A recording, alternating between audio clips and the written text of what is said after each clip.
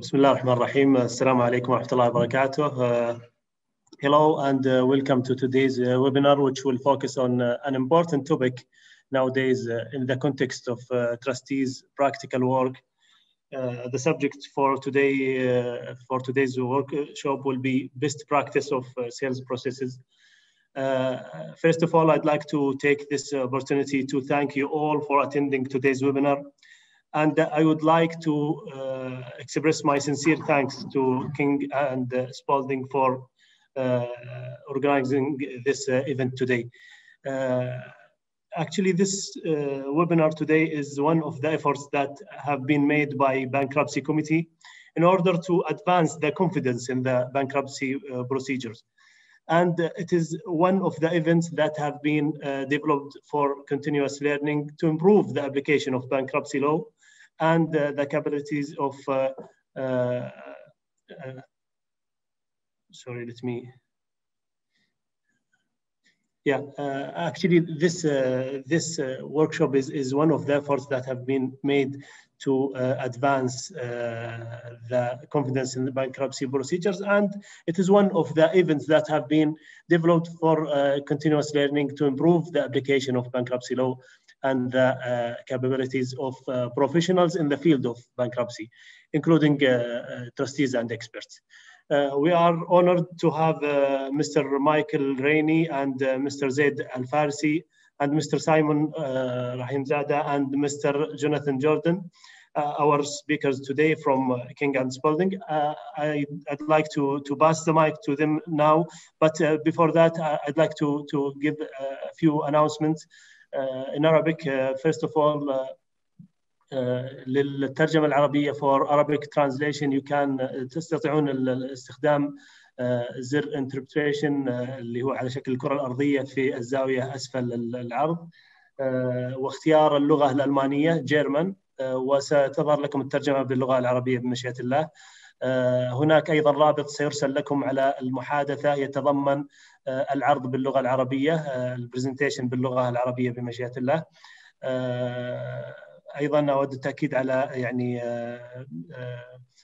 مشاركتكم بالأسئلة ويعني الاستفسارات على كيو اند اي في الشريط أدنى أيضا لا أريد أن أطيل عليكم I will pass the mic now to Mr. Michael. Uh, hello, Mr. Michael, and uh, thank you so much for uh, for being with us today.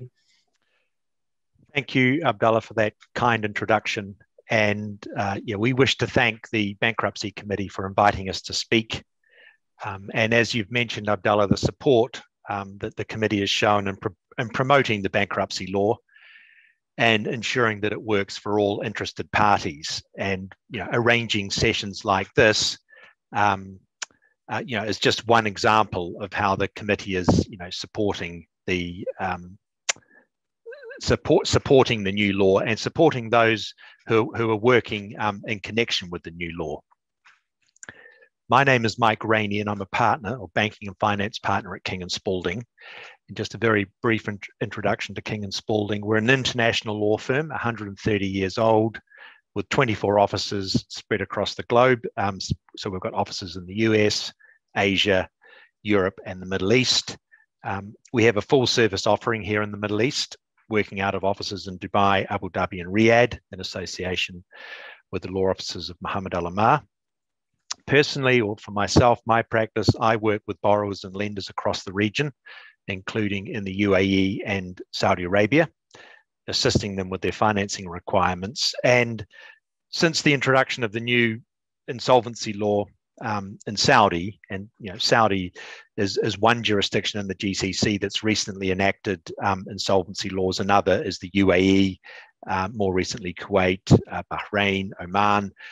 Um, so I, together with others at the firm, have been you know closely watching the law as it as it was enacted, and um, you know now that it's it's been practically applied, uh, we're busy with both creditors and debtors um, who are navigating their way through the new procedures in the law. I would mention one thing, and I think some of this is down to what the committee has done. Um, that is the, the bankruptcy laws in Saudi are being used Um, and now, when you compare that to other jurisdictions, I know obviously Saudi is the is the largest um, country in the GCC, but if we compare it to, for example, the UAE um, and other jurisdictions, let's just benchmark it to the UAE, where the law has been, you know, ha- hasn't been used as much, um, if at all. So just comparing the two the two jurisdictions, it's great to see that um, not only the law has been enacted, but it's actually being used. Now, I'm joined today by three colleagues, and they will they will briefly introduce themselves. So, starting with Zaid. Good afternoon, everyone. My name is Zaid Al Farisi. Like um, Mike, I'm also a banking and finance partner at King and Spalding.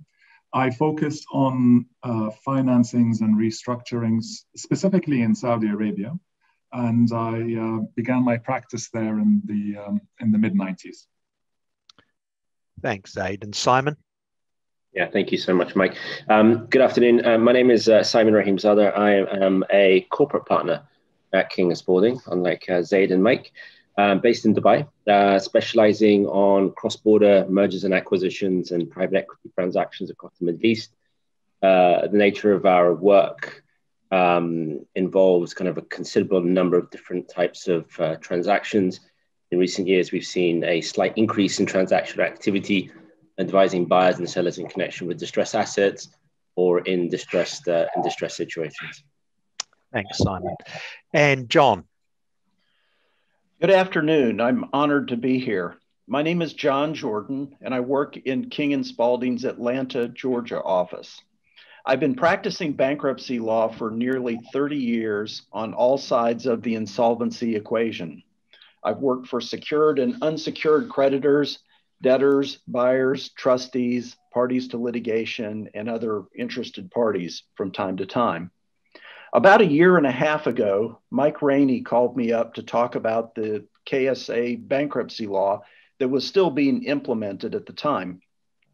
We talked about the similarities between US and Saudi bankruptcy laws and ways that some of the practices in the United States and the strategies that we've developed over the years might translate over to distressed companies and their creditors in the kingdom. Of course, not everything that works in the United States will translate well to the KSA law or to the business and legal environment of Saudi Arabia. But we hope to present you with some ideas that you might consider. And if you have the right circumstances and the right judge, perhaps some of these strategies will benefit your estates or clients.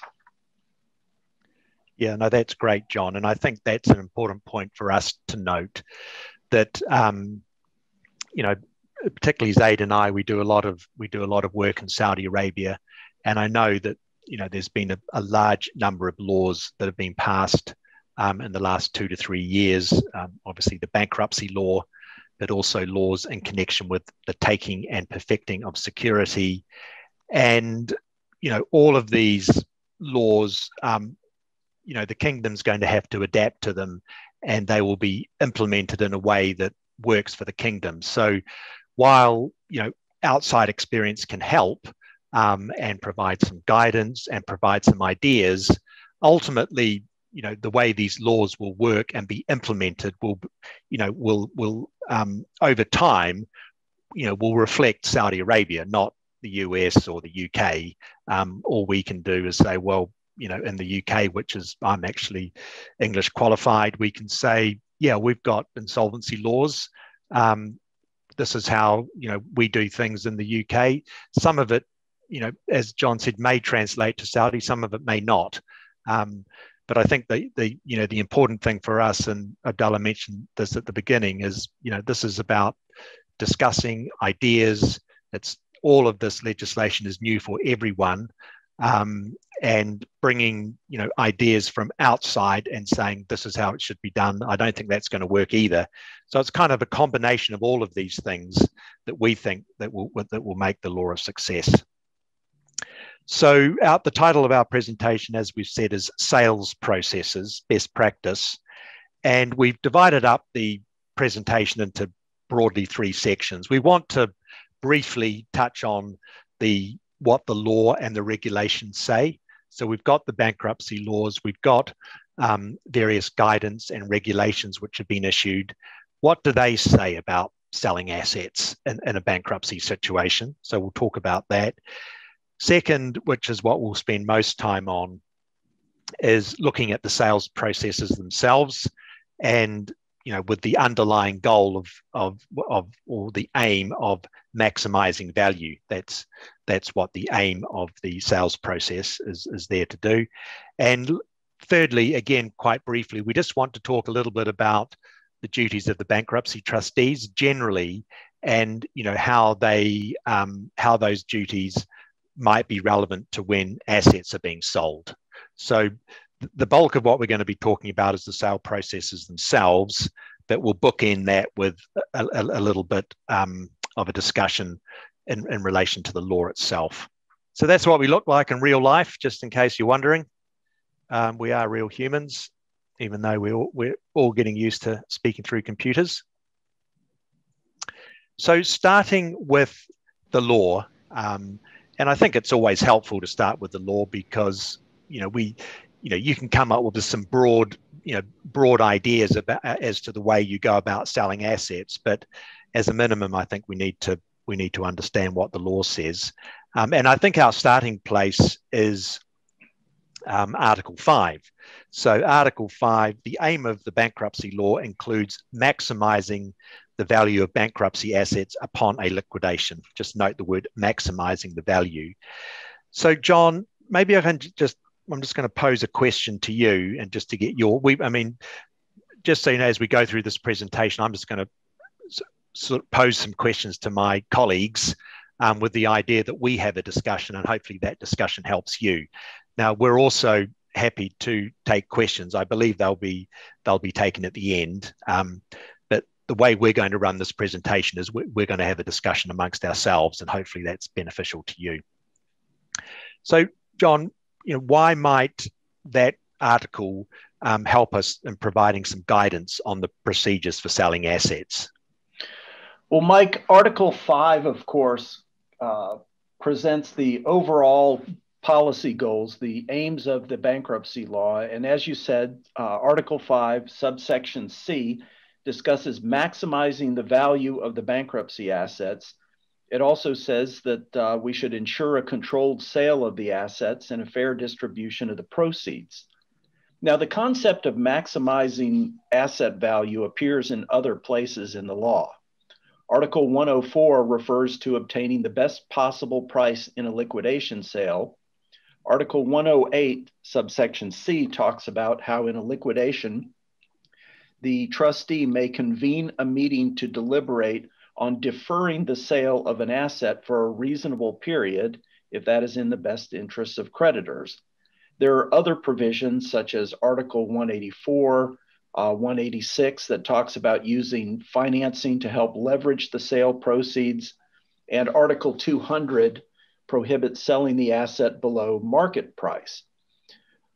The, a lot of these provisions talk about price, but it's important to remember that obtaining the best outcome for the estate, maximizing the value of the bankruptcy assets, in the, the words of, the, uh, of Article 5, is not necessarily the same thing as obtaining the highest price uh, at the particular time of sale.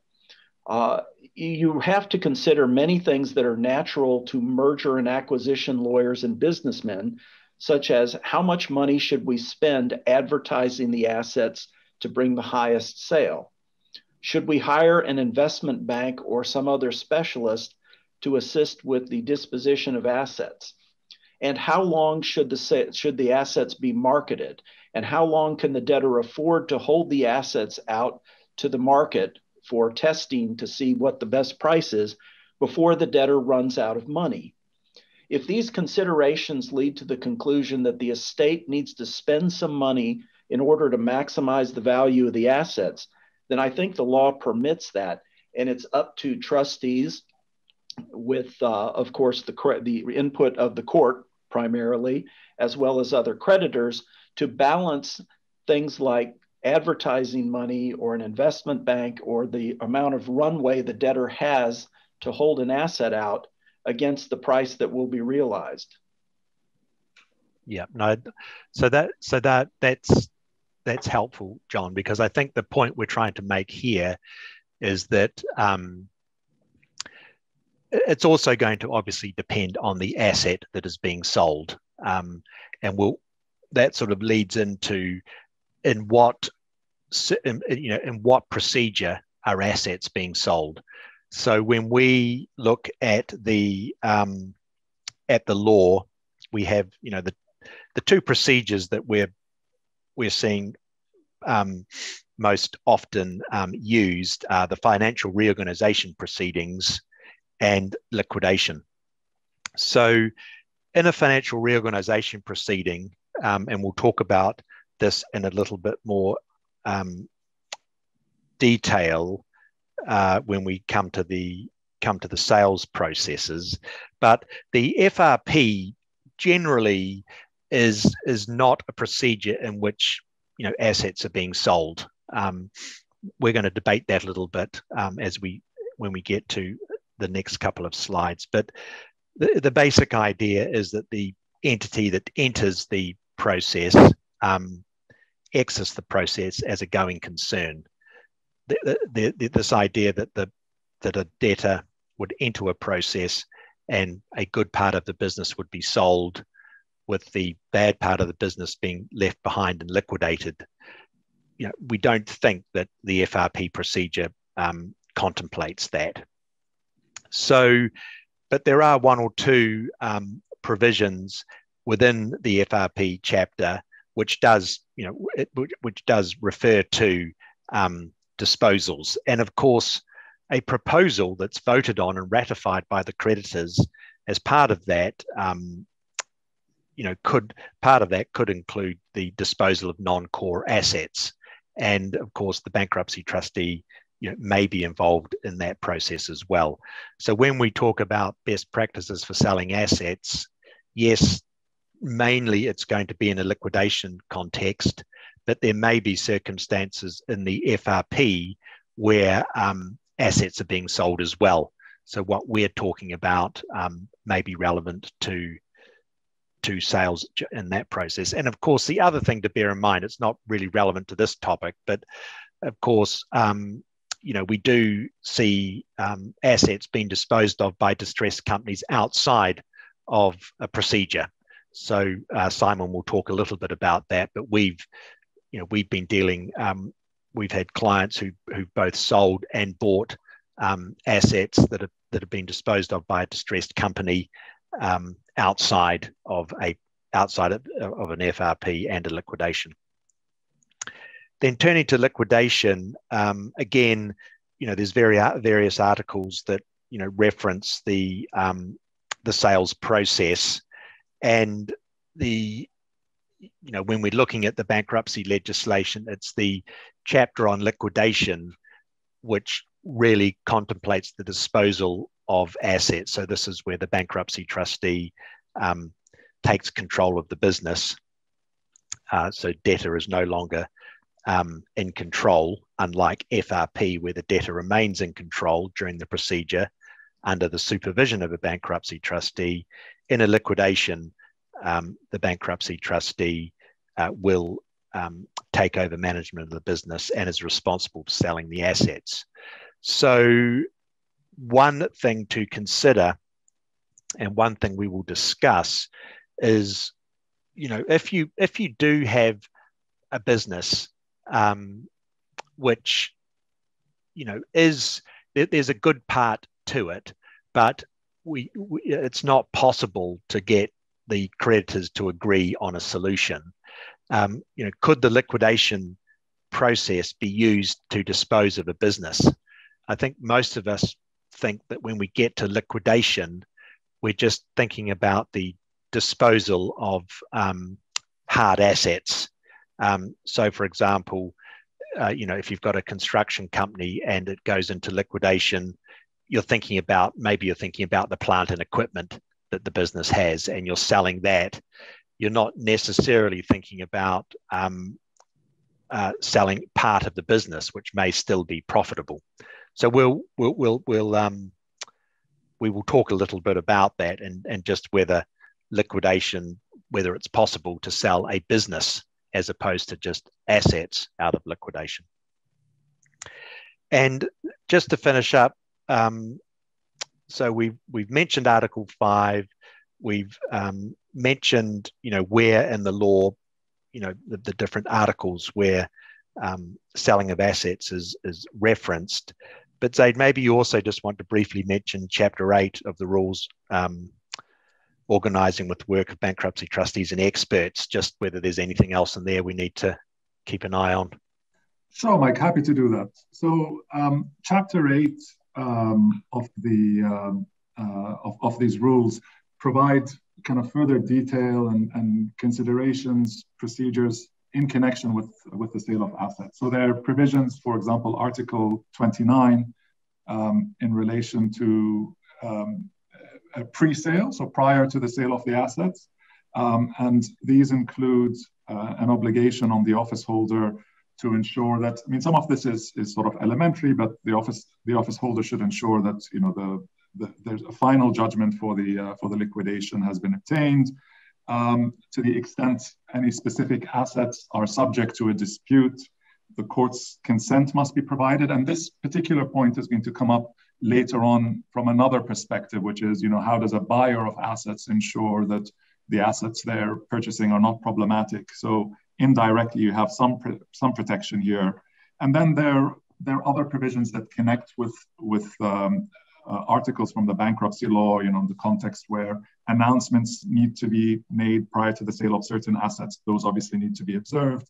If any voting is required, for example, in the context of a sale of uh, an asset that's um, the value of which is 25% or more of the um, bankruptcy um, uh, assets. You need you need obviously to to have a, a vote of the uh, creditors, and then uh, opening an, uh, an account um, uh, prior to the sale. And then I'll mention maybe one or two other things very briefly. Um, one particularly interesting article, and this really goes to, to, to the heart of this, relates to considerations in connection with the um, with the actual sale. So we've mentioned that Article 104, John had mentioned, refers to selling at the best price possible, and this particular article fleshes it out a little bit more, and and refers to the um, to the office holder um, effecting the sale at the best possible price.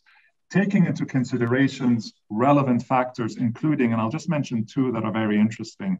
Um, and, and, really, as you can see there, as you will see in, in, in considering this, there's going to be a, a, balancing act that needs to take place. So one is a reasonable time period for the, for the sale to be effective, consistent with the duration of the liquidation procedure and kind of the swift distribution of proceeds among creditors. So you can obviously see there, there's some competing uh, interests there. Those need to be balanced. And the second key one is the timing of the sale and, and how that impacts the potential price of the asset. And this also connects back with a point John had mentioned earlier under Article 108 1C, where um, uh, the office holder should obtain the, um, the uh, uh, approval or, or, a vote of, um, of uh, creditors uh, if they're looking to defer the sale of a particular asset. Yeah, thanks, Zaid. So look, that's just a, a high level summary. And I think the, the takeaway is that you know the law and the regulations and the guidance do say something about the sales process. So uh, you, we, you know we can't just be selling assets in the vacuum. We need to be thinking about it against the backdrop of the legislation. So that's that's the takeaway. Um, not that we want to you know educate you on every single article, uh, in the law um, or every um, article in the regulations. It's more that you know the law does say something about the sales process, how it should be conducted, the considerations that you need to take into account. Um, so good to be aware of that. Turning now to the sales processes, and this is the more practical side of the presentation.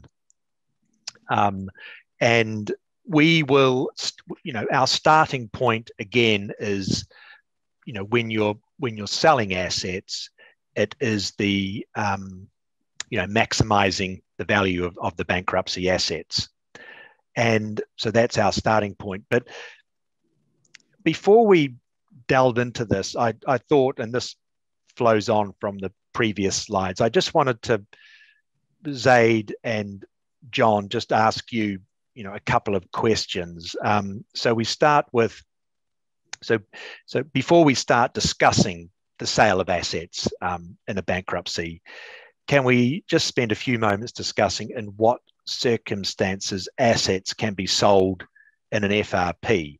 Um, so that's the, in a financial reorganization proceeding. We, I think we all comfortable. We know about liquidation. Um, bankruptcy trustee takes over, um, sells the assets, and we will we will talk about that.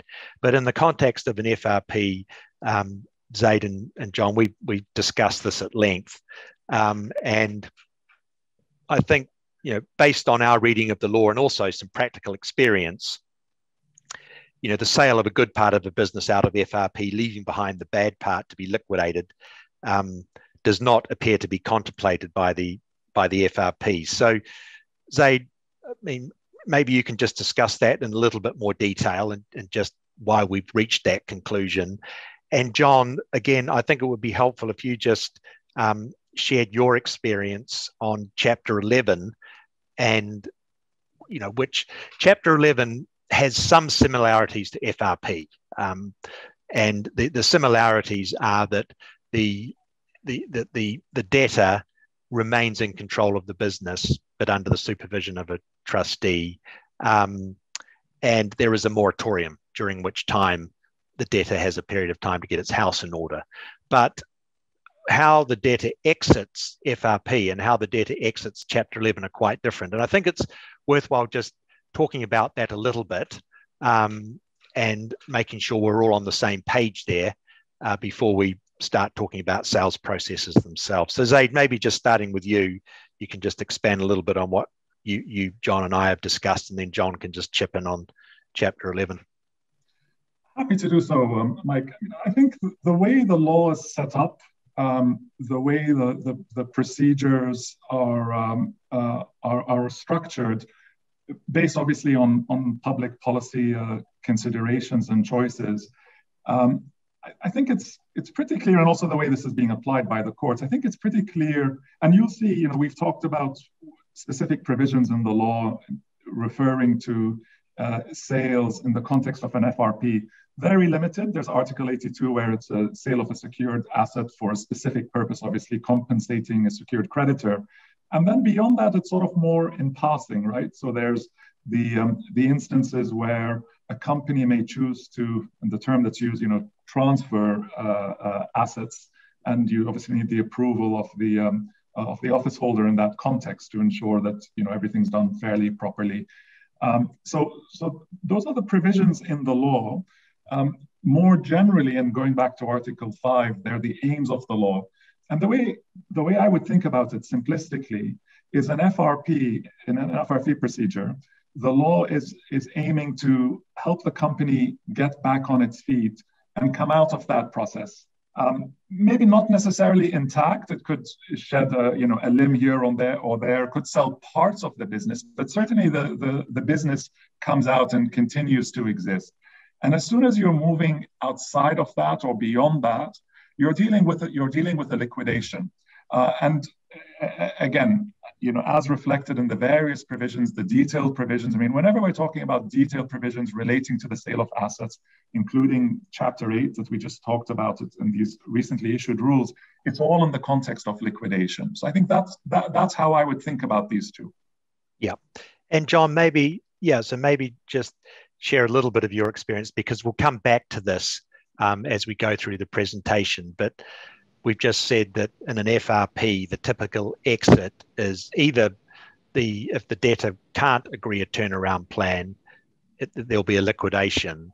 Um, if it can agree a turnaround plan, then typically the, the debtor that enters the process exits the process as, as a going concern. Maybe just compare that a little bit to what happens in the States. Certainly, Mike. In the United States, the FRP, as you mentioned, is called Chapter 11. In a Chapter 11 or reorganization case, the classic reorganization and the way it originally was almost always done was that the debtor became a reorganized company in essentially its same form.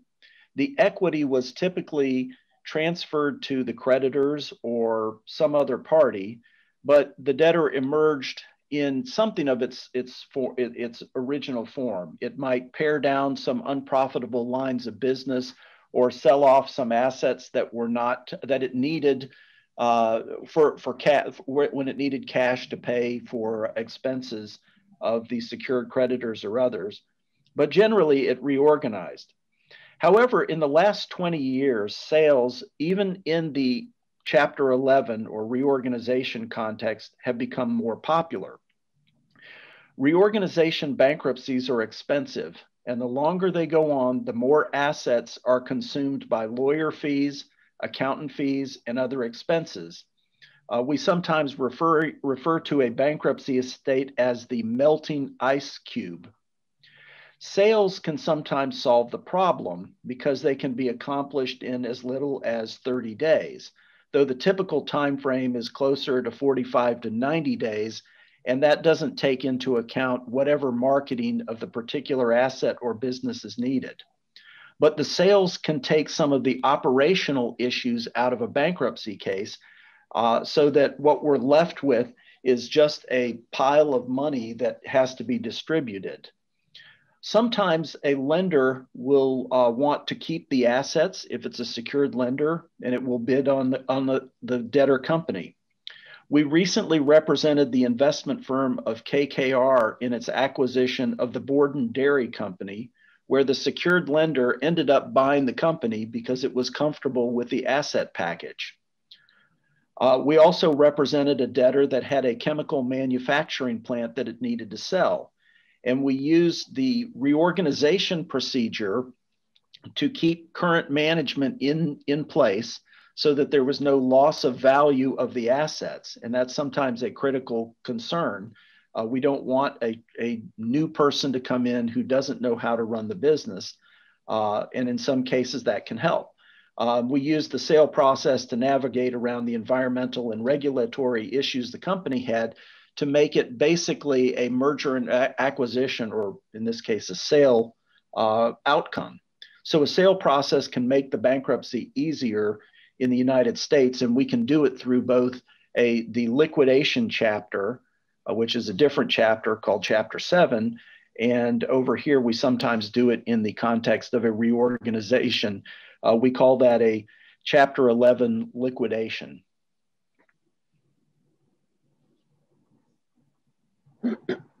Thanks, John. So I think that again, the you know the point we make, we're not saying what happens in the States should happen in Saudi. It's just an interesting um, comparison.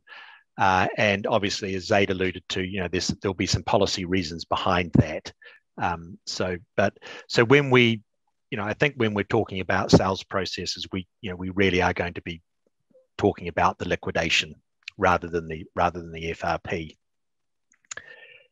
So, when contemplating the sale of bankruptcy assets, um, you know, in, in simple terms, and sorry, just before I start, I, I am getting the question. So Osama, I've got a question, and Hussam, I've got your question. So we will answer those as we as we go through these slides. Um, so please keep the questions coming, and we'll, we'll coming, and we'll we'll look to answer them. But you know, I guess we've you know, in very simple terms, when you're selling an asset, um, you've got you know two choices. You you you say you you do a sale through through a, through a private sale, a bilateral contract, or um, an auction. So, Simon, I guess just talking practically here, if I um, if I was a liquidator, um, and um, you know, I'll, obviously I'll have some some of my own ideas about the best way to dispose of an asset, but um, maybe you know, if I said to you, you know, what would your advice be? And can you talk me through the, the, pros and cons of a private sale versus an auction? Um, and when we talk about an auction, you know, you know, what is it that you would describe as an auction? What would that process be? Can I can I just get you to give a few thoughts on that? Yeah, of course. Thanks, Mike. Um, look, I, well, so I think ultimately what it comes down to is ensuring that um, as a liquidator or as a seller, you um, achieve uh, the best value for the relevant asset.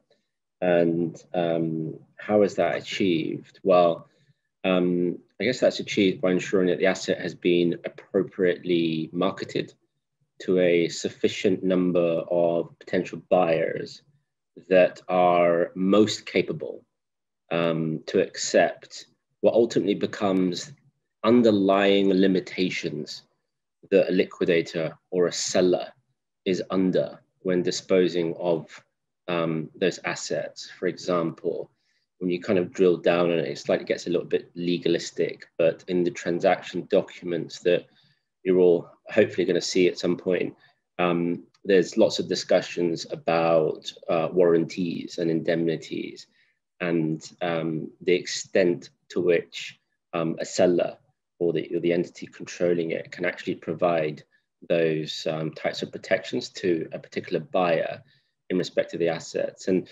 often the best way um, for a liquidator, I guess a, a seller, uh, to get um, the best value is to open up the asset for consideration by multiple potential buyers through an auction process rather than a bilateral process. Um, now, the auction process is different to the bilateral because it involves a number of different buyers, as I mentioned. Um, and it also involves, a, importantly, a competitive process. And it's a competitive process both as to price, um, but also, uh, importantly, contractual terms. So the warranties and the indemnities and the extent of them would be um, competitively uh, tendered and therefore competitively received in terms of markups um, from potential buyers. Um, an auction process is run with uh, a financial advisor, just to give some background as to how that's actually done.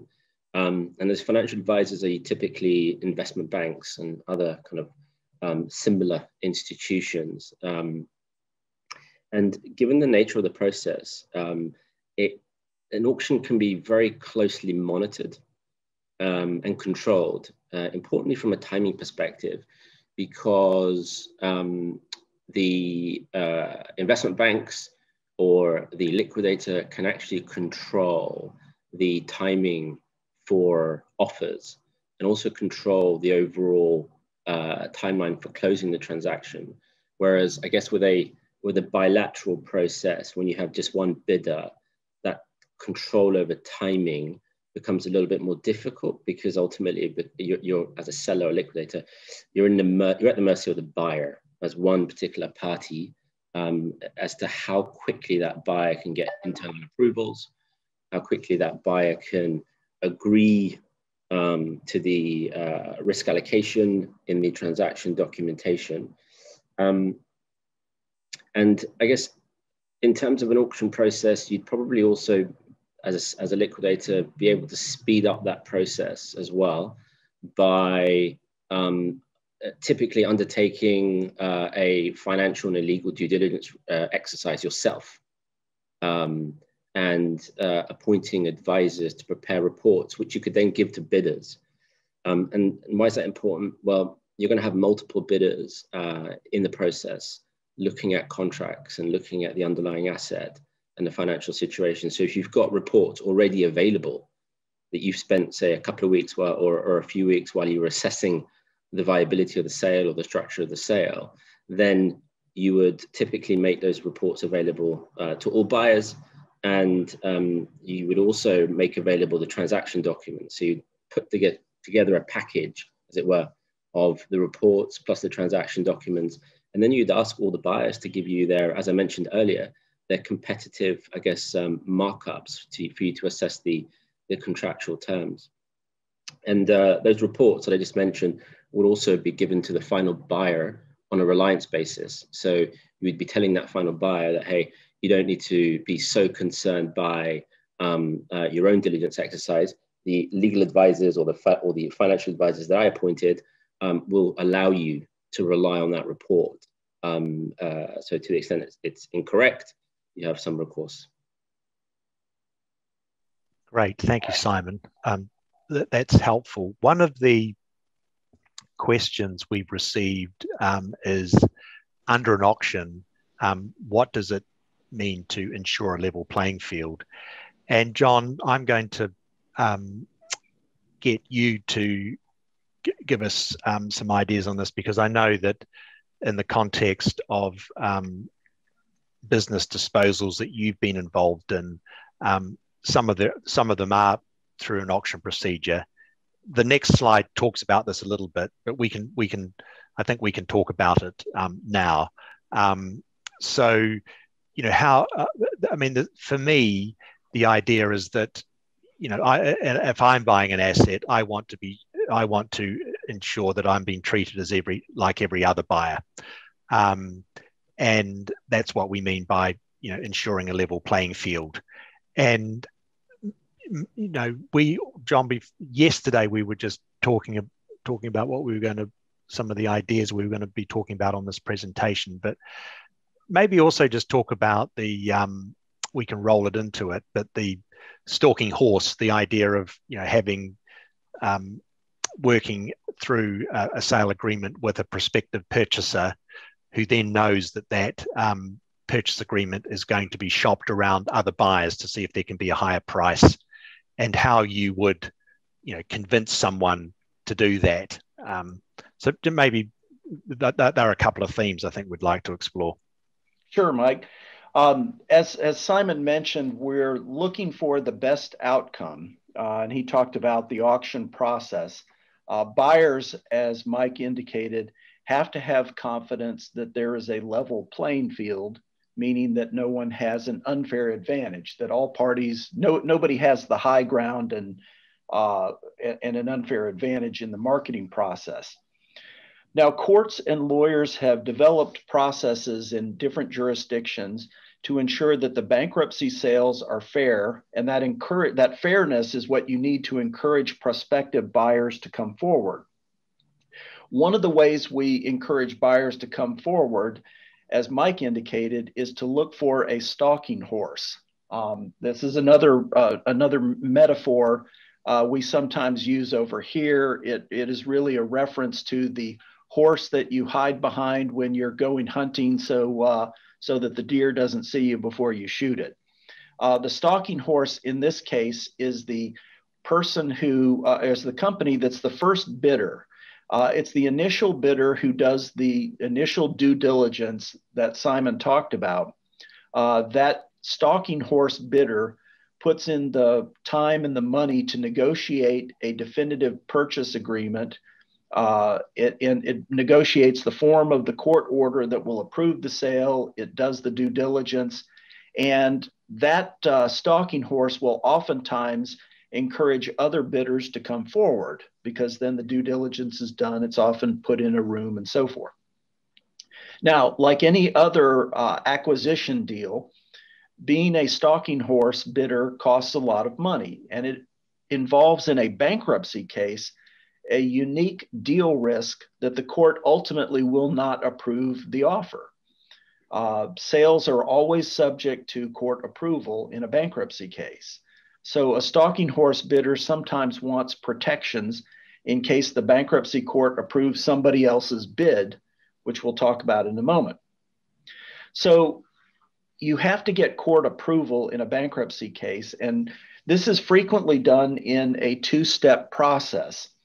Uh, the first step uh, after you get have a stalking horse bidder is to get the court to approve the procedures, the, the ground rules, the rules of the road for the auction.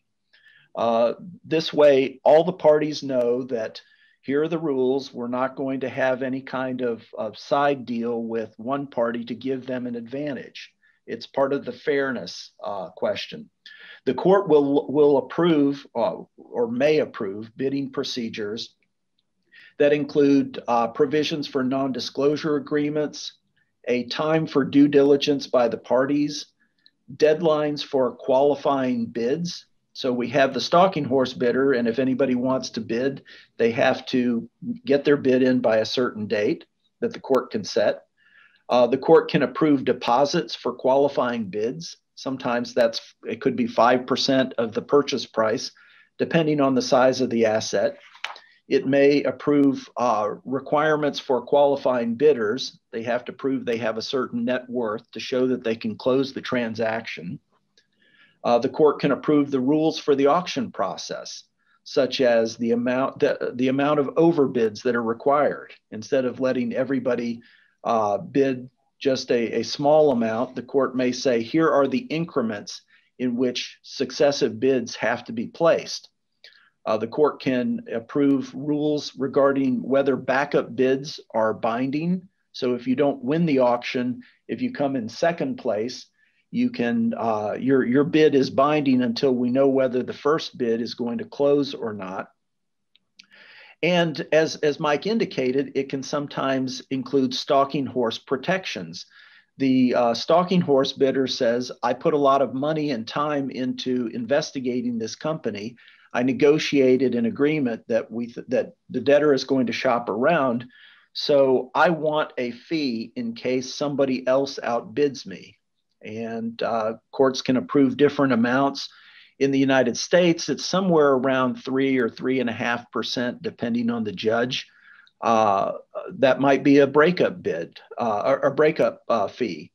If the uh, stalking horse bid is unsuccessful, sometimes the stalking horse bidder will instead ask for reimbursement of its legal expenses up to a certain point. Uh, and then finally, the court can make uh, advance rules for talking about things like assignments of contracts and periods to object to that. So the court approves that uh, those those ground rules in advance, and then after the deadlines, after the uh, the qualifying bids are submitted, the debtor may hold an auction. It can be in the uh, conference room of a law firm. It can even be in the court. It can be at any place that makes sense. And uh, after that auction, the debtor determines what the highest and best bid is. Uh, it announces a winner and sometimes a backup bidder, bidder. And then the parties go back to court for the second step, which is to get the court's final approval of a sale. And uh, while there are different variations of the auction process, and what I've outlined is probably the most elaborate and formal, these are ways that we ensure that uh, buyers are encouraged to come forward and can bid with confidence on the assets, knowing what they're getting. Yeah, thanks, John. So, um, private sale auction. Would would you say that the stalking horse, where you know we get a bidder who comes along, puts in all the hard work, agrees a price, and then that um, th- then that um, deal is then shopped around to other bidders. Would, was that a hybrid auction? What how would you describe that um, that process? It, it, it is a hybrid in the sense that the debtor shops things, shops the deal around in advance. Um, and there are different ways to hold the what I, what I've called an auction, but it doesn't have to be in the classic auction sense. Uh, if, the debtor, of course, gets no other bids, then you go straight to court approval. If the yeah. debtor gets other bids, then it can either um, you know negotiate or or do shuttle diplomacy with the with the buyers, or it can hold an actual auction. So they're they're very different. There are many different ways that we can solve the business problem, and it's up to the lawyers, the debtor, and the courts to figure out what makes the most sense. Again, as Article Five says, to maximize the value of the assets. Yeah, and that's a good point. And I think you know, I think with a you know a lot of our experience to date is that the you know the liquidations have been you know reasonably uh, let's call it straightforward. Um, so you know we have some hard assets that need to be sold. I think where things you know become a little bit more interesting um, is where you know a, there is a business to be sold, um, and with all of these um, sales processes, of course, someone has to pay for it. Um, now, if the shareholders or the equity are no longer in the picture, then the the liquidator, of course, wants to be wants to be sure that um, you know the expenses of the liquidation are going to be covered from the sales proceeds. So I think as a you know as a starting point, um, you know, that's where you need to think. It's all very well having these elaborate auctions um, and you know entering into stalking horse arrangements, etc. But uh, you know it's it's got to be um, appropriate for the, for the actual disposition that's taking place. So that's great. So um, then I had a another question for Simon, and there is one more question we've got here and, and around um, if if you, if we've got a liquidation and the sale price at auction is less than the value of the asset, um, you know, what steps would the liquidator need to take? So we will answer that question in a minute. The just turning again to, to Simon, maybe we can just talk now a little bit about, um, you know, what's the difference between buying um, buying uh, assets in a distress situation or out of a bankruptcy compared to you know buying it in a in a in a non-distress situation. What are the what are the things that come up? And you know are there any ways we can we can fill the gaps? Yeah. Okay. Thank you michael. Um, i've turned on my camera so most people can see me now. Um, well a distressed asset often has the potential to have a lot more uh, known and uh, unknown liabilities than a, than a non-distress asset, for example, amounts owed to third-party creditors um, directly, and also uh, consequential liabilities for uh, late penalties and the like. Um, so a distress asset naturally could come with a lot more risk, uh, which a seller will want a um, purchaser to ultimately assume. And so there's obviously uh, uh, in the negotiations a lot of uh, back and forth as to who is most appropriate to kind of bear certain risks that you, will ultimately be trying to push to each other from seller and the buyer under a transaction document. Um, so as such, a seller of a distressed asset will want to kind of avoid um, giving substantial undertakings or comforts to a buyer in respect of the assets, given that there may be a vast number of ways that the seller could then um, uh, be sued after closing um, in connection with them to the extent that those undertakings uh, are breached, and thereby the seller would then lose value uh, from the kind of purchase price or the consideration, which it, it will have spent a long time negotiating and having received uh, from a purchaser. So often a seller of a distressed asset will want a purchaser to acquire the asset on as close to as possible on what's called an as is, where is basis. So um, the seller or the liquidator will essentially be telling a buyer or trying to force a buyer to rely, I guess, more on the buyer's commercial, financial, and legal diligence of the particular target assets rather than um, relying on those undertakings that I mentioned from the seller that, that the buyer could then uh, sue the seller for. I think from a buyer's perspective, there are also a lot more uh, considerations for the underlying sale and purchase agreement. For example, uh, it becomes more necessary to request holdbacks, retentions, and possibly even earnout arrangements. Um, in addition, a buyer may want to discuss very early on in the process uh, what's called warranty and indemnity insurance. Now, W&I insurance is extremely interesting because um, through W&I insurance, the parties could essentially push the risk of a lot of the unknown liabilities over to an insurance provider who is probably more likely in a better place to assume that risk, given that it's um, assuming risks on unknown matters is part of its business model. Um, it would probably have back-to-back insurance arrangements for them, um, and also will be in a better position to compensate a buyer for any breaches of those warranties and indemnities under the SPA. Um, warranty indemnity insurance is a fast-growing product in the GCC and we tend to recommend it to a lot of our clients uh, if they're going to look at warranty indemnity insurance um, in connection with transactions like this to start that process as early as possible.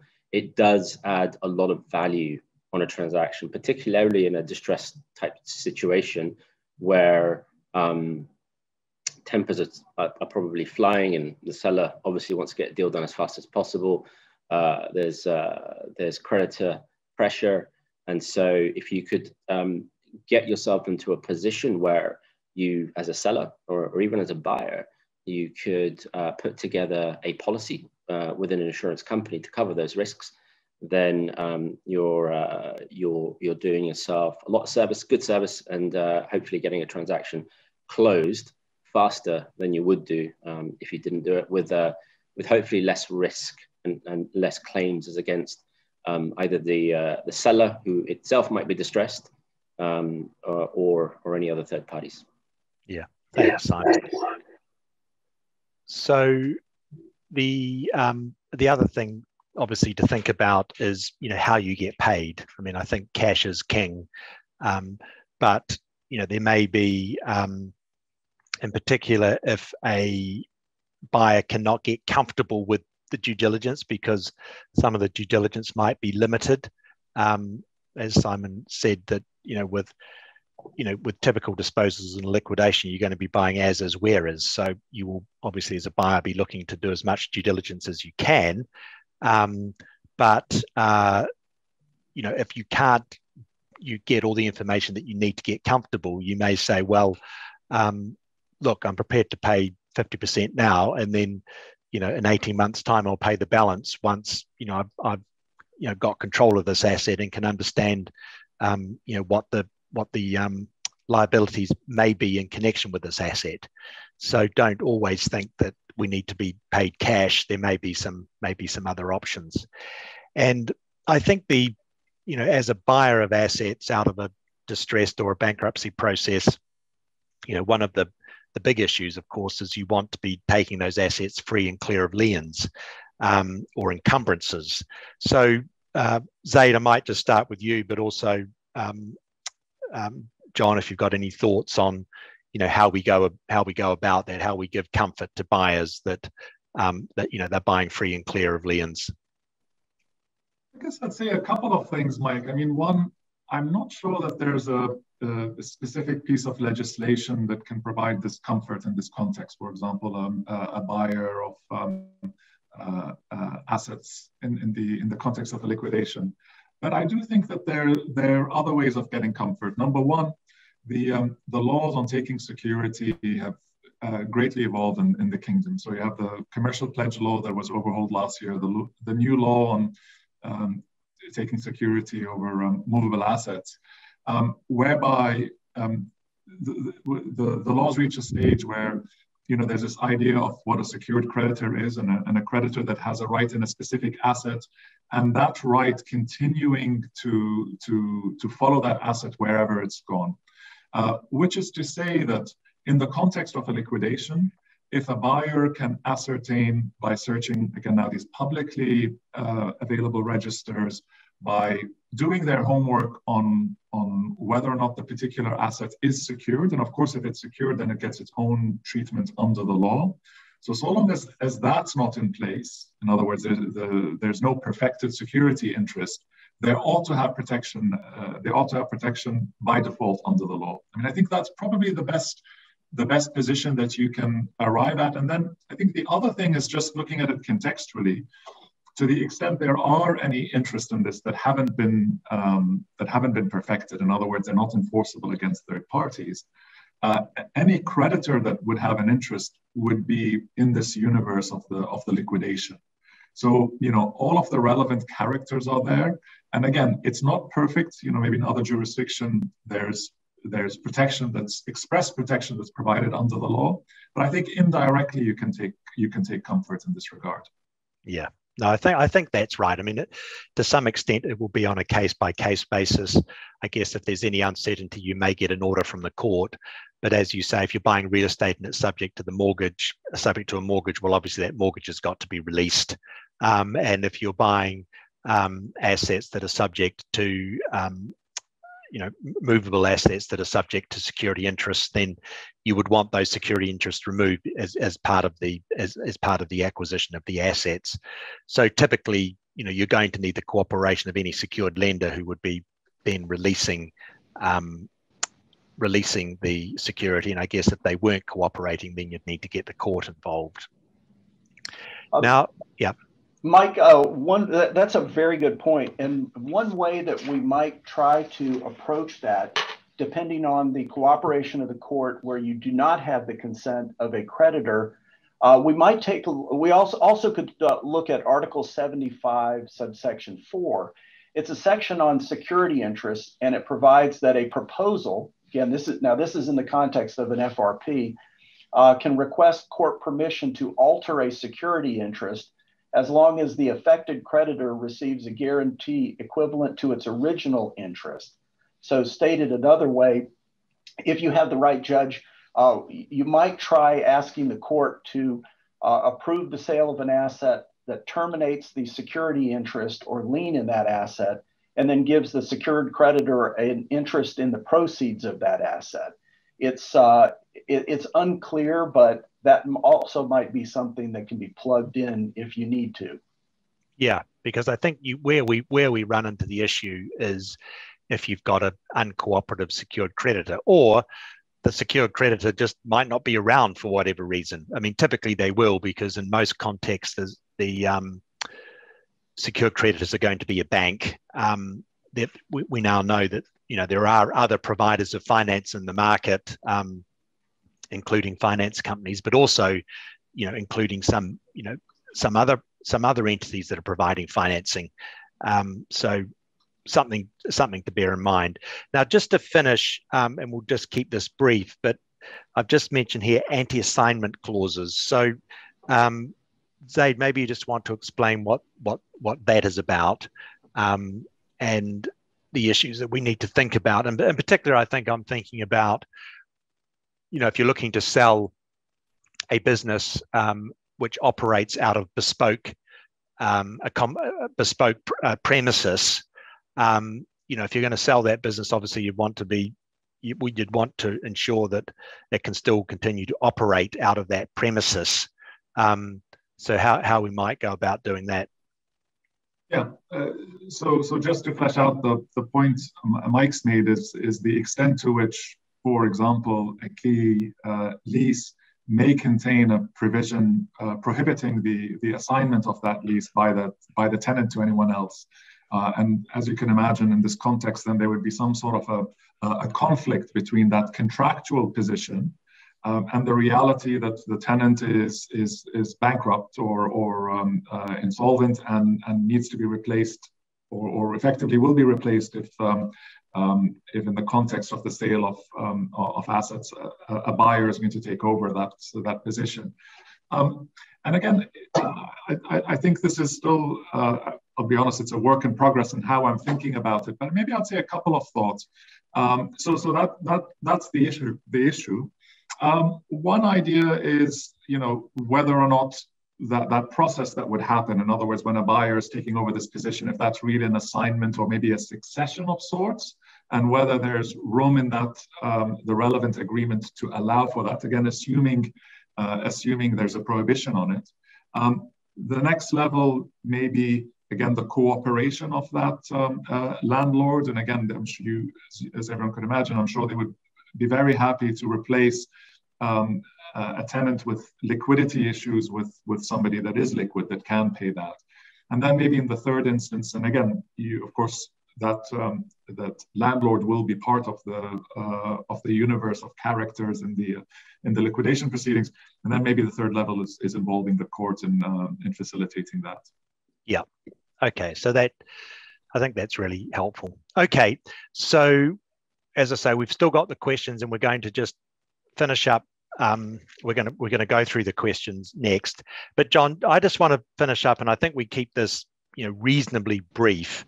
Um, I I just wanted to touch on the um, the duties of, of a bankruptcy trustee. So, you know what you know what sort of duties does the bank bankruptcy trustee have in general. And, and again, we can keep this quite high level um, and just you know touch on one or two of the provisions or one or two of the articles in the bankruptcy law which makes reference to those duties and you know how that might play out in a in the context of a sale you know what sort of duties would the would the bankruptcy trustee have so we just just three or four minutes on that and then we'll turn to the questions absolutely um, the law, of course, provides for a wide range of office holder duties. And some of these are ministerial, like publishing the claims or the voting deadlines. Some are analytical, such as expressing an opinion to the court as to whether a reorganization proposal carries a likelihood of approval. Some duties require the office holder to act as an advocate. For instance, if the office holder or trustee has to ask the court to remove management under Article 69. And uh, central to the reorganization process, under Article 70, as we've talked about, the debtor must obtain approval from the trustee to prepare a, a proposal to obtain funding, repay debts, or effect a sale. Uh, Article 70 and 85, I think it is, 85, uh, say that the debtor has to obtain written permission from the office holder before transferring the ownership. Now, Article 70 also provides that the office holder shall exercise due care in carrying out its duties and powers. And in a liquidation, we have uh, Article 108, as Zaid mentioned earlier, contemplating that the trustee uh, may defer the sale if it's uh, for a reasonable period in the best interest of creditors. So we see a lot of these provisions saying that the office holder or trustee's duty primarily is to act in the best interest of creditors. It is a fiduciary role. The Code of Professional Conduct for Trustees, Article 3, requires professional competence and due diligence in performing acts. This means that the trustee needs to competently run the sale process to maximize the value of the assets for the benefit of the creditors. That same article requires a trustee to have objectivity, that is, to be without a conflict of interest. So I think the takeaway here is that as long as you go into the engagement with the attitude that you are an honest broker, a facilitator of solutions who is objective and competent with an eye toward maximizing the value that we've been talking about for the last hour, then you'll be fine. Yeah, and I think that that that is a that's our general experience too on a global basis. That um, you know, office holders or bankruptcy trustees, um, you know, the it, it's just as John said. I mean, it's not you know, no one's you know out there to, to, to catch anyone out um, you know, they're, they're there to obviously perform a function, um, do it objectively, fairly, um, and um, you know, the, the, that's the takeaway as well that I would have. So I'm just going to um, run through the questions, um, and I'm going to uh, just choose people like Zaid or John or Simon to answer these questions. So it's a bit like mastermind. And um, and the first question um, goes to Zaid. In liquidation, if the sale price at auction is lower than the evaluation, does the liquidator need to take any approvals? So we've got a we've got a um, we've got a sale at an auction. Um, the price comes in that, I mean, and, and this actually we can we can circle back and talk in a little bit because it ties in with another question. But you know, what would um, you've got any views on that? I've got one or two views. Um, maybe you go you go ahead, Mike, first, and then I'll uh, I'll chime in. Yeah. So this comes into another um, point, and it ties in with this question. In the event that the sale was made by public auction, the decision to sell must be made during the course of the auction. How can the requirement of approval by court or creditors committee be fulfilled? So, what I would say in answer to both of these questions um, is that this would be you would pre-agree a process, and this goes back to what John was talking about. You would you set out the rules of engagement, if you like, um, and say, you know, this is the process we're going to run. Um, these are the these are the bidders. This is you may put a floor on the um, price that the assets sold for, or you may not. Um, it may be just so. The idea would be that you'd set up the process so that you wouldn't have to go back and get further consent because it would all be set out in a um, in a procedure that's been pre-approved. So that I think that's what I would say. Mike, uh, that that's a. Oh, I'm sorry, uh, Zane. No, uh, go, just go ahead, John. I'll go after you. Oh, sorry. One one thing on on the point. I think this is a brilliant question about what do you do when you have to have communication with these creditors. And of all the many bad things that COVID has wrought upon the world, one positive outcome is just what we're doing today. We're uh, we're together by Zoom and uh, we're communicating. And uh, so, to the extent you have a situation that comes up in an auction that was not contemplated by the committee when it gave its pre-approval uh, or approved some parameters for the sale. Uh, hopefully you anticipate those, but uh, having parties participate by Zoom in the auction um, to the extent there are a manageable number may be of some help. Yeah. Zay, do you want to add anything yeah. to that? Yeah, no, that's really helpful. I mean, I was really just going to expand on the point that you made, Mike, which is, um, and, and maybe this is circular in the sense that you're saying, well, you, you've preset the rules, and hopefully those rules do allow you to to deal with with variations. But I, I think that's very sensible, and, and at least in the context of uh, legislation, specifically dealing with in, enforcement and um, um, enforcement via auctions, there always, for example, there's a valuation, and if that valuation is not, uh, if the if the value of the asset is is not uh, attained during, let's say, a first auction, um, or at least a certain percentage, you can then take it to a second um, a second auction, and again with uh, continuing lowering thresholds until you basically say, well, then that, that's it, that's the process, and whatever the price is, it's gone. So you can build that that kind of a, um, a system in, into the proceed into the process. Yeah, um, so what have we got here? Okay, so one for Simon. Who would bear the cost of the warranty and indemnity insurance if it was purchased? Um, you free to negotiate between the seller and the buyer. Um, typically, it's really the entity that pushes for it. Um, and uh, if you are the seller pushing for it, the buyer will turn around to you and say, "Okay, fine. If you want it and you want to move the, the uh, that risk over to another entity, then you should bear it."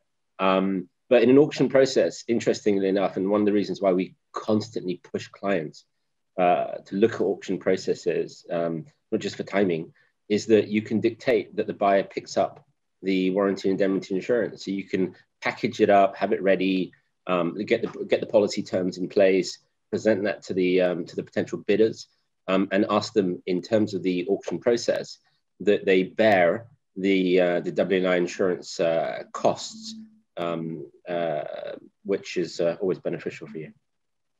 Yeah, that's yeah. great. Um, thanks, Simon. So, is stalking horse bid uh, stalking horse bids popular in most jurisdictions? Well, to be honest, I've never heard of a stalking horse till I started talking to uh, John Jordan. So, John, would you say that's a particular US thing? I mean, I think in the I think in other contexts, it's, there, there may be um, similar types of things. But so, for example, in the UK, I don't know that I hear a lot about stalking horse, um, but I'd be interested. Yeah. Uh, Mike, uh, it's it's an idiom. The the expression itself is probably some sort of uh, a metaphor that went back to the 19th uh, century frontiersmen, perhaps. But yeah. uh, to answer the question, it's a good question. Stalking horse, uh, that that arrangement, whatever you call it, initial a lead bidder arrangement, those are popular with debtors for sure, because you don't. You're, you're always nervous going into an auction without having somebody who sets the floor. The uh, the lead bidder for or stalking horse bidder, however you call them, uh, sets a floor for everybody else. So going into the auction, it can only get better from there. It's a binding commitment as long as the court approves it. And that's part of what the lead bidder is signing up for. And that's part of why they want protections. Uh, going into a into an auction without having that means that you don't know what you're going to come out with. And we've had auctions that have resulted in very disappointing results. And a couple of the questions here today have focused on what happens if those results at the auction are disappointing. And sometimes you just end up with a, a very sad uh, result. So uh, that type of process is popular with debtors, but of course, the market is going to, and your marketing efforts are going to affect whether you have one of those. Uh, but I think if you can get a lead bidder to set the floor, that's that's yeah. a good start. Yeah, no, it's a good good point. Um, so Simon, this is probably another one for you, and it overlaps a little bit with with the W and I and what we've been talking about. Um, so, uh, from a legal point of view, when you sell goods um, in a liquidation, it's usually without guarantee and they cannot be returned. So, this is this idea that you're selling them as is, where is. Hmm. Um, now, the the including some warranties um, in the agreement will, of course, you know, potentially raise the value of the product. I mean, if you're buying as is, where is, you're, you're either going to either say, well, that's fine, but I'm going to discount the price because there's a risks in here I can't quantify. Um, so, in a, I guess, in a and, and maybe I can answer part of this and bring you in. But so, you know, in a in a typical sales contract, what would you expect to see? I mean, from from our experience, it is um, it's it's as is whereas. I mean, as a as the liquidator who's you know effectively selling the asset, um, you know, you won't be in a position to give any sort of representations and warranties. You may be able to um, confirm title, and you may be able to um, you may be able to confirm no encumbrances, but you know you, you are not you you're probably you, are probably not going to go much further than that. And I think that's where you know having um, you know if we are talking about making life easier for the buyer, you know doing vendor due diligence. So the that means that as part of a, um, process, the the seller, which in this case is the liquidator, would engage the sort services of the law firm to prepare a due diligence report, which would effectively say that you know um, provide uh, the information on the asset that you know a buyer would typically expect to receive, and then you know if there are gaps, you know looking at insurance. So I would say you know they would be the the typical things that we would advise, but I think for most disposals in a, in a liquidation context, you're not going to get much out of the liquidator. That be your view, Simon? Yeah, I actually agree with you 100%. The, the way, the best way to look at it um, is to understand what what these warranties are, um, and I think from that you can probably understand why the liquidator is just not in a position to be able to give them. Warranties are statements of fact uh, relating to the company um, and its historical affairs. Um, so, given that the liquidator hasn't operated it, doesn't own it, um, it's difficult for it to give those statements of fact. Um, and certainly those statements of fact couldn't be given on a reliance basis to a buyer in any real um, material form that the, that the buyer could really take comfort on. Whatever the liquidator gives, it's probably a, a guessing game, given that it hasn't yeah. been around yeah. since inception. So, Mike, you're absolutely right. I think in that in those scenarios, you'd get it very limited warranties, and um, you you would really want to look at the uh, W&I insurance or holdbacks or retentions or the like. Yeah. So we've got a really good question here, actually, which I like. Um, and it's, you know, how we've got here, um, how about assignment of construction or maintenance contracts? And it goes on to say, how can we determine the value of these contracts? If the liquidator discovered that the debtor assigned contracts with significant value for free or significantly below fair, its fair value, what should he do? Now, this this question is a, is a really interesting question. It's obviously um, slightly aside from you know sales processes, but we would say that you know obviously the um, the you know the the aim of the law is to maximize the bankruptcy assets, and that would include, I would argue, um, determining whether you know any assets have been disposed of, um, you know, at an undervalue um, or at a you know mainly at an undervalue actually. And if they have um, you know what should we what should be done to recover those assets?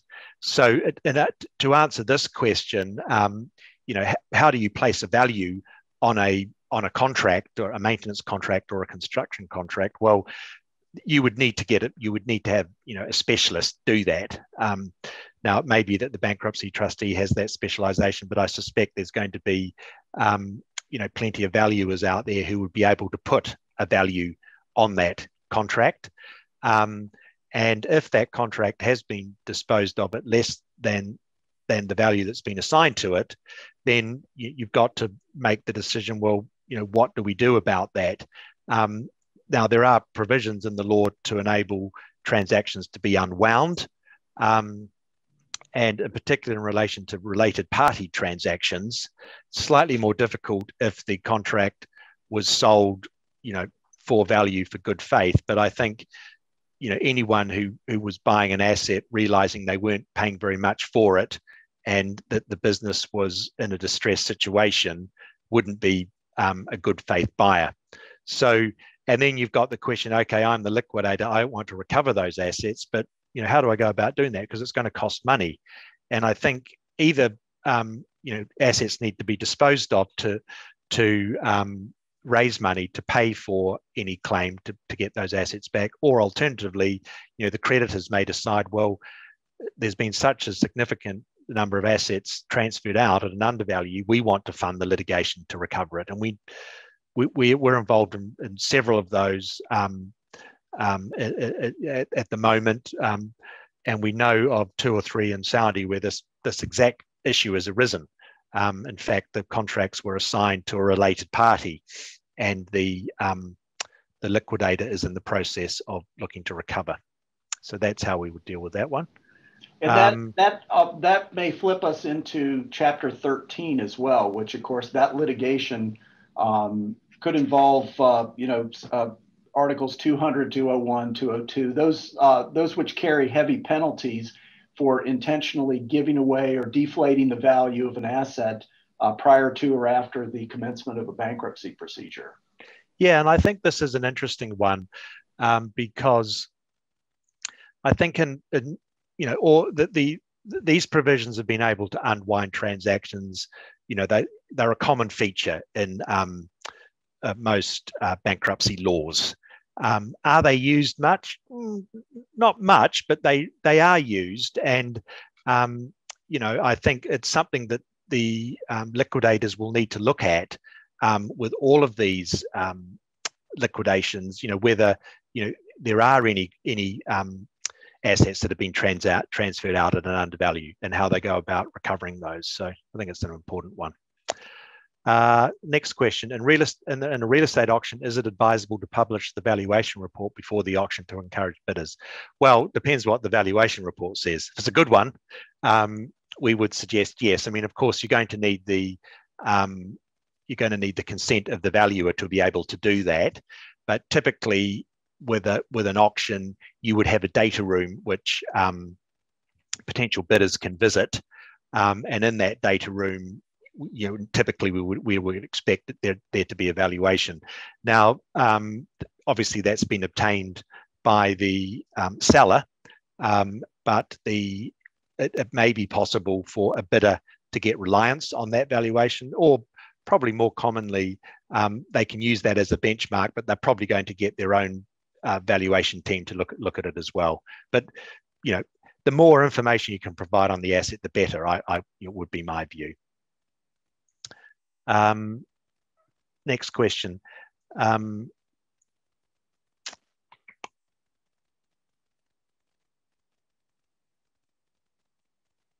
Okay, so let me just read the question and then I might need to revisit one or two aspects of it. So um, as a liquidator for one of the properties, a limited auction has been set up to which those interested in this property have been invited. So the tenants offered 30 million for this property and another person offered 30 million 200,000 and he would leave these tenants even if he had to he, he would leave these tenants even if he had to resort to court and I think that means um, he would want them to leave which is the right choice for awarding the auction to it? The first option, money will be fast and the tenants will be the new owners. So there, there's a situation. Let me just sum that up. We've got two competing bids. Um, the tenant ha- wishes to buy the property for 30 million, um, and the um, a third party wishes to buy it for 30 million 200,000, but they're going to terminate the lease. Which one should we? Which um, who should we be selling to as a as a liquidator? I think just so we're um, and this this isn't, doesn't answer the question, but it's not uncommon in a lease um, for just because a landlord changes doesn't necessarily mean the lease terminates. Although um, it probably would be common if your landlord um, becomes bankrupt, the tenant may have the option to terminate, but it, it's going to it's going to turn on the um, what the terms of the lease say. So even if someone a new owner came in and bought the property, typically the um, the lease wouldn't terminate because, as is in common with leased property, um, you know buildings are changing hands all the time. But that doesn't answer your question. In this case, where um, the tenant could buy and stay in stay in the property, or a third party could come in and terminate the lease, but you're getting two hundred thousand dollars more. I mean, I suspect you'd have to go for the thirty million two hundred thousand, wouldn't you? Yeah, I think I mean, Mike, that's uh, as, as you say, there's a there's a balancing act going going on here, and maybe that takes us back to that Article 30 of Chapter 8, where it's the duty or, or the the liquidator is looking to get the best possible price, taking into consideration the various uh, various factors. And, and one of them, of course, is, is timing on, on when payment will take place. So it, it's not entirely clear to me from this fact pattern. I mean, as you say, 3.2 is 30.2 is the highest, um, but it's not entirely clear to me how that interacts with the delay in payment because of the potential. Exactly, and I think this was alluded to in the question actually. So, yeah. does that mean that we would that the seller would have to terminate the lease? So effectively, what the new buyer is saying, I want it vacant. Um, and if that was the yeah. case, then you would have to say that the 30 million you'd be selling yeah. to the tenant. Exactly. Um, so, yeah. Yeah, clo- closing risks and timing are always something that uh, get taken into account. And the it may make sense in that instance for the trustee, the creditors, uh, the debtor to go back, uh, think about how long they can hold out and how much those risks are. Over here, sometimes we have regulatory risks that uh, say a governmental entity will not approve the transaction uh, that that sometimes knock good offers out of the uh, out of the running. Yeah. Okay. So that's great. Um, one last question I think we'll, we'll do. It's just coming up to 6.30. Um, so if one of the bankruptcy assets exceeded the value of the total debt, um, or it covers the debt amount, does the trustee need to proceed further with the liquidation process of the other assets? I think the answer to that is no. Um, and so, in, in, in, in, that sort of scenario, um, the, the job of the liquidator is to, you know, sell the assets, pay off the creditors, um, and any excess would be returned to the debtor. So, and obviously, if you've sold an asset, it pays off all the creditors, and there, there are other assets left. Well, then they they, they, be, they they remain the property of the debtor. I think. And as a liquidator, you can give yourself a medal. Yeah, Exactly. You're, you're a hero. Exactly. So Abdullah, I think we, we're at 6.30. People have done very well actually to remain online. We appreciate that. Um, and we really appreciate the questions because um, I think that's where we all learn the most, including ourselves. Uh, thank you so much. Uh, actually, uh, uh we've had uh, such a good time. Uh, really very important comments and recommendations. Thank you so much for that. I have one last question from one of my colleagues. What are the best practices of evaluating trademarks? Uh, you know, sometimes there are no financial statements or they are very old. Is there best practice for for uh, for uh, evaluating the trademarks and uh, selling them? probably one for John. Have you got any views on that? I've probably got it, one or two. It, it, it, certainly depends on the jurisdiction. Uh, assignment of trademarks uh, in, in, for instance, U.S. bankruptcy law, we've got a huge section of our bankruptcy code devoted to intellectual property and trademarks. Uh, some can be assigned, some cannot. In terms of value, uh, evaluating them, there are two ways to look at it. One is as part of the uh, business in general, a brand, a, a uh, trademark may carry a lot of value uh, only in the context of the business. Sometimes it can be valued independently. Oftentimes we see trademarks sold in uh, in pure liquidations of, of piecemeal assets. A good example was uh, Remington uh, firearms manufacturer it sold off its gun business it, with the trademark, but that was a very small portion of its business. It sold off other lines of business like ammunition and, and other things. Uh, but the trademark did have some independent value. Uh, it had to be evaluated in advance, um, but ultimately the market decides. Yeah, and I think it's interesting because there have been, particularly with COVID, there have been some businesses that have been disappearing altogether, although the you know they've got a great brand or a great trademark and one of the ones that um, you, some of you may have heard of it but it's it's the shirt maker called pink p-i-n-k and I was um, reading about them um, a couple of months ago, and that business has actually gone insolvent, and the only asset that was sold was the trademark. Um, so there will be, um, you know, some value attributed to these sorts of assets, but it, again, you know, I don't know that it's a it's it's more of an art than a science. I don't know there's a black and white answer to your question, Abdullah. You would it's it's all to do between you know what someone would, would be prepared to pay for that. And in the context of the one I just gave, that pink shirt maker, they had a very, very good brand, and someone was prepared to pay a substantial amount of money just for the brand. So, uh, thank you so much, uh, Mr. Michael, Mr. Zaid, Mr. Simon, Mr. Jonathan. Uh, on behalf of the bankruptcy committee, thank you so much for uh, taking this time to speak to us today. We really appreciate that.